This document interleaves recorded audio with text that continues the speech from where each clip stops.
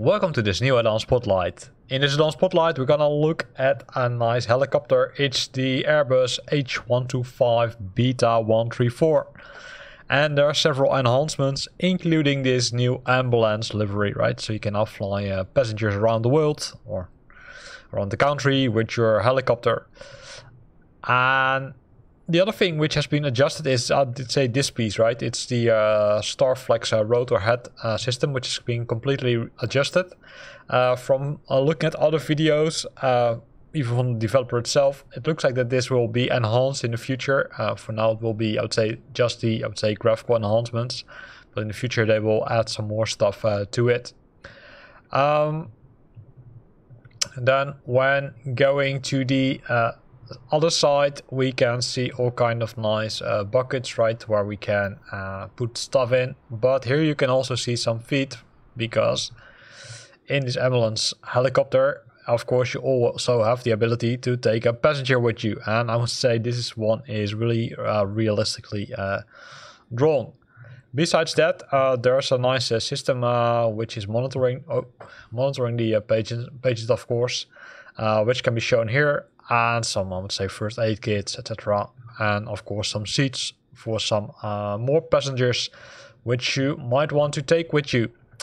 Uh, going to the back um, there's not so much uh, changes here. Um, what on uh, things which I would like to would say uh, call out are improved performance improved textures and improved more accurate uh, modeling which has been done if we go inside the aircraft or inside the helicopter, you have can open these side buckets using the load option. And in this um, ambulance version, you've got multiple ones, and you also have the option to load uh, these items uh, via the weight menu. Uh, there's another video on my channel where I show you how to do that. Uh, it's relatively easy, right? So you can find it here and then uh, press this one, and there you will find the multiple weight options.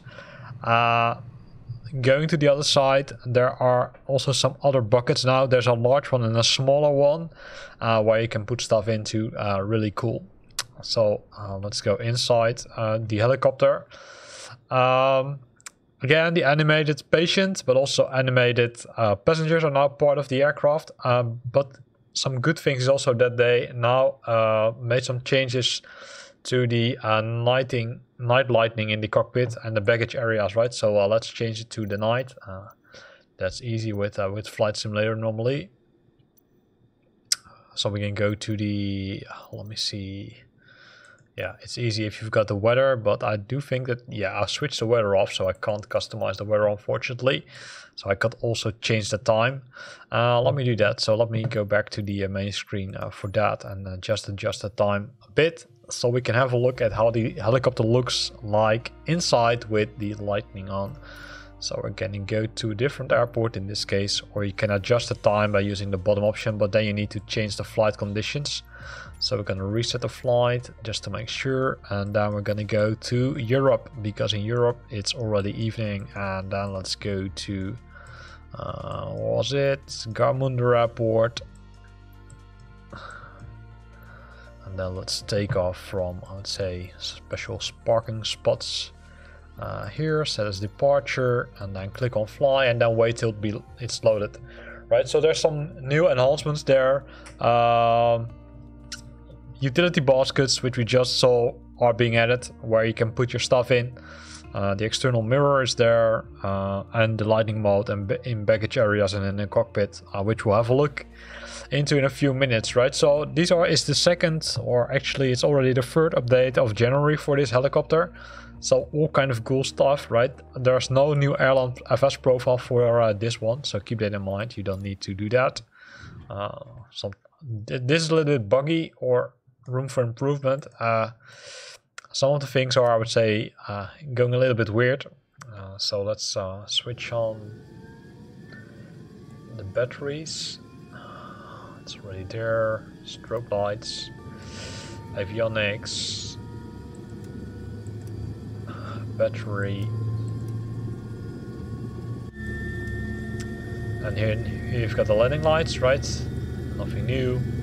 The doors and the sling, but they changed the lighting inside the cockpit, right? And if we would go to the outside, uh, so if we would press the load option again, and then we would go outside, then you can see also see that the, I would say, baggage parts of the aircraft are now uh, illuminated.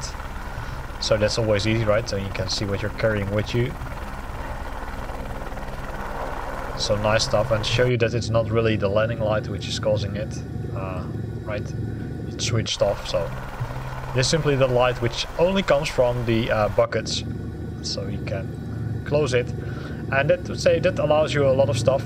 Uh, keep in mind by default there is no load inside the helicopter so you need to adjust the loads by pressing the weight uh, view option and then change the uh, weight. But again I created a separate video for that uh, to explain that piece. So a lot of nice things being added to the helicopter, a lot of improvements, uh, new livery. So what do you want more, right? for this. I would say it's a good start of the weekend already if you're a helicopter fan. Uh, so take a look at uh, the description of this video where you'll find a link to the uh, download uh, to download the, the helicopter, right? It's on uh, flightsim.to as always. Uh, here ends this video. I hope you liked it. If you liked it, then consider to use the like button. If you got questions or comments, then feel free to post them in the comment box below. And if you want to stay up to date about new videos I'm posting, then make sure that you're subscribing to my channel. Thanks for watching and see you next time.